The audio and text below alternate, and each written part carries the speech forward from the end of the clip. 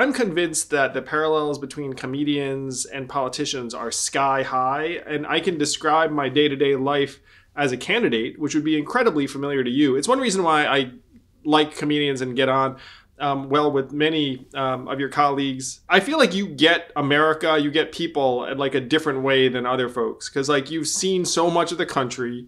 You've been in front of Yeah. crowds of uh, like completely different types of people and different places at night. They just come to have a good time. Yeah, I mean, I always make this joke that people call me on social media a coastal elite just because I live on a coast and I'm better than other people. And and, and then I but I point out like I'm not a co- I'm quintessentially not a coastal elite.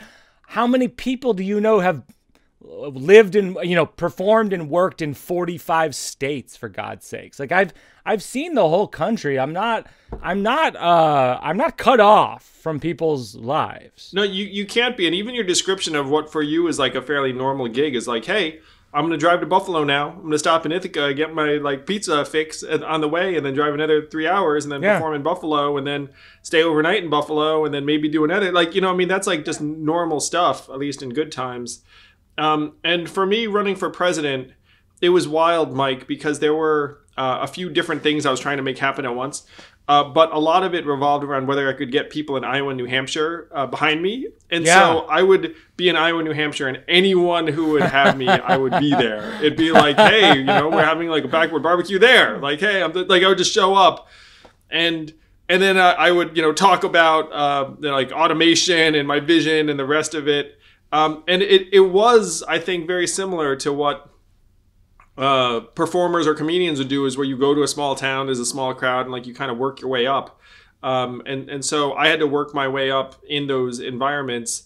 Uh, and I used to tell people, and this was more or less true. I was like one Iowan or one New Hampshire um, voter uh, was like worth like a thousand Californians. Was my joke. that's very Um, funny You yes know, yes yes and it is it's pretty close Yeah, it was pretty accurate. Um, so if I went to an Iowa backyard barbecue and there were six people there, I'd be like six thousand Californians. This is like a giant crowd. Yeah. No, I mean, my experience of driving through the country over the years, I mean, I've been on the road for 20 years. You know, like I, I, started at 22 driving around the country. My mom's beat up Volvo station wagon. I put about a hundred something thousand miles on that car. And uh, my experience has been like I, when Trump came along, I was not surprised that his message of American carnage and all that stuff was resonating because I was I was seeing the country and going like this country's really struggling. So he's speaking to a thing. The problem is the way that a snake oil salesman does, he was selling a thing that doesn't fix the problem. yeah. Uh, I had the same experience running a nonprofit I started called Venture for America. Not as broadly as you, where I didn't go to 45 states, but I went to maybe 18 states, uh, Sure. including Alabama, That's a lot, Louisiana, yeah. Missouri, uh, Ohio, Michigan. And I saw the struggles. Um, and it's one reason why I became convinced that we needed to think bigger about what an economic solution could look like. Uh, and especially when you looked at the towns that had gotten completely blasted by the decimation of manufacturing jobs. Like you go there. And so like I'm a serial entrepreneur and I was running an entrepreneurship organization. And entrepreneurs are generally very can do and positive. So you're like, hey, you know, let's do something, let's start businesses, let's like make make something positive happen. And you'd go to a depressed area in the Midwest and the South, and you would just feel like like like, hey, whatever I was going to say, like I should probably rethink it for this particular group and environment. Totally.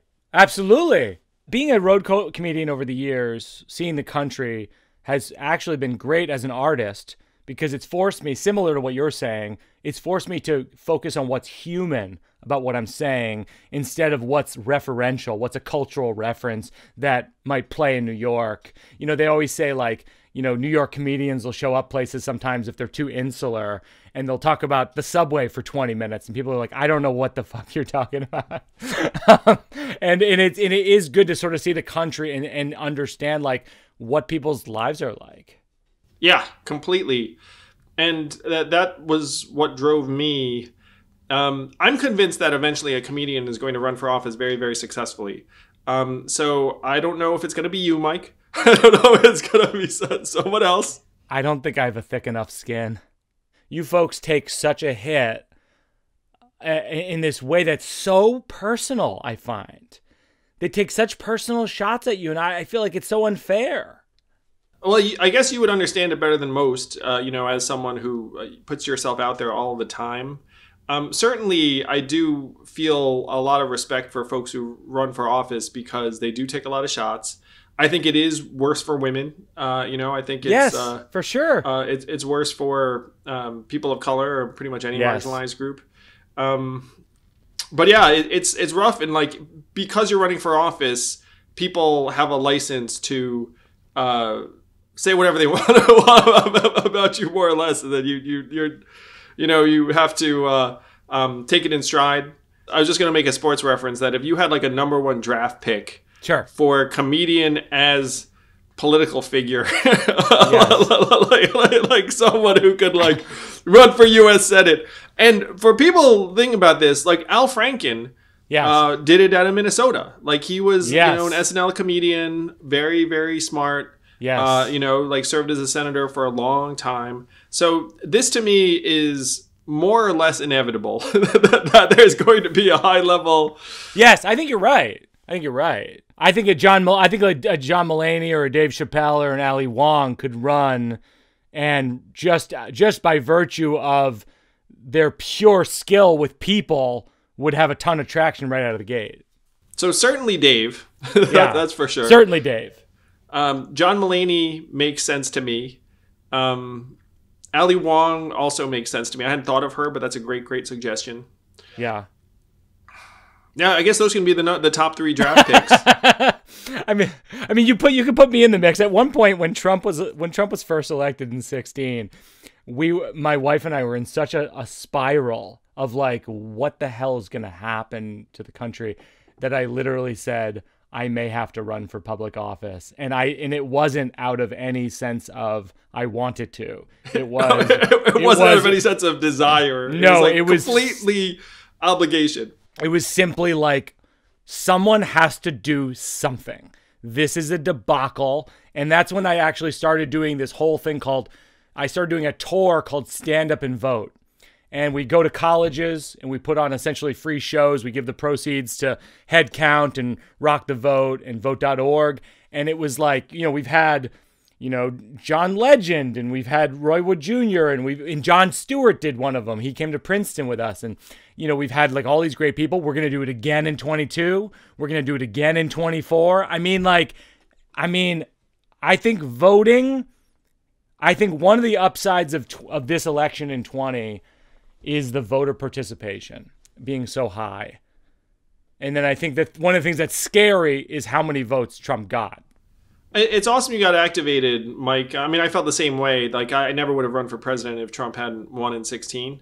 Um, and you and I were in touch uh, around trying to activate voters in Georgia, like when we were trying to flip the Senate, and you, you know, you were trying to activate young people. Um, so it, it's awesome that you've driven so much energy um, to voting among young people who we all know don't vote at the same levels as uh, we, we'd like in a lot of cases. If Dave ran for like Ohio Senate, he'd probably win that thing. I think he'd win. I think I think he'd win for sure. Yeah, no, I agree with you about Chappelle in Ohio. I mean, I feel like that would be open and shut case. I think he could run for anything in Ohio because he's lived there for twenty plus years. I mean, he, you know, Dave is the first guy I ever I ever opened for at the Washington D.C. Improv. Really? Yeah. So you were a Georgetown student. Did you just like Yeah. show up and uh, do do an improv? Because Dave Yeah. has uh, deep roots in DC, obviously. Yep. So I, I, I, I, I uh, my freshman year, I showed up at Georgetown, uh, and I, I had, I had wanted to go to Harvard because it, to follow in the footsteps of like Conan O'Brien. Like I always thought, like that's you go to the you write for the Harvard Lampoon, and I thought, and then I got, uh, and uh, you know, and then I got rejected from Harvard. I actually had a ridiculous interview for Harvard where the woman who was interviewing me goes like why would you why do you want to go to harvard? And i go i want to write for the harvard lampoon. And i pull out a binder of comedy writing i had developed over four years. Th- this would either be a home run or a total strikeout, depending upon the interviewer. she was a she was a lawyer. She had no interest in humor whatsoever she and then and then this has put the nails in the coffin she goes uh is there any other reason you want to go to harvard other than to write for the harvard lampoon And I said, uh, no, that's the main reason. And and so and clearly it's a huge mistake. It's a huge tactical error, but it was honest. You had passion, you had direction, you had a Yes. clear vision. I love it, except this young man. Um, um, like that, that's where I would have gone. But then I went to Georgetown and I was I, I auditioned for the improv group. I got in.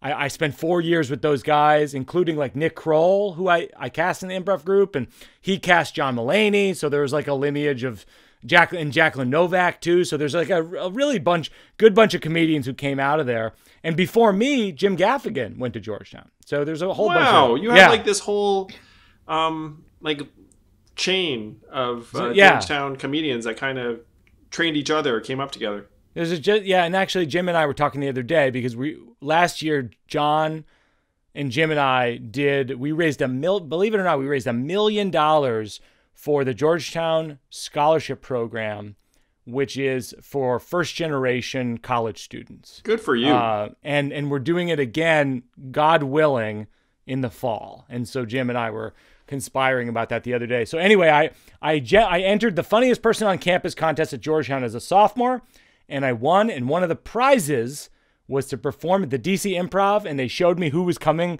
soon and I looked and I saw Dave Chappelle's coming and it was this was before you know this is around Robin Hood Men in Tights you know I mean it wasn't like he had it wasn't Chappelle, Chappelle show. yet. Yeah. I- Yes, and, and I was like, I, but I love Dave Chappelle, and I opened for him. He was so nice, and he's, you know, I find him to be one of the nicest people I've encountered in comedy.